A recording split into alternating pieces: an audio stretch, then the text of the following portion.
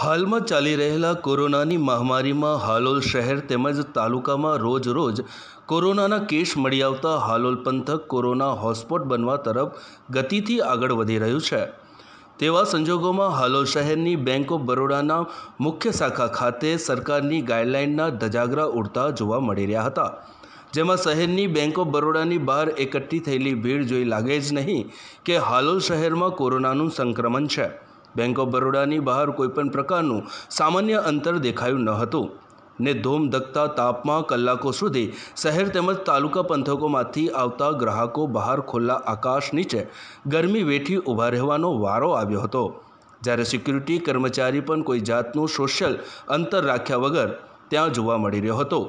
તેમ છતાં વહીવટીતંત્ર દ્વારા હાલોલ શહેરમાં કોઈ પગલાં ભરવામાં આવી રહ્યા નથી.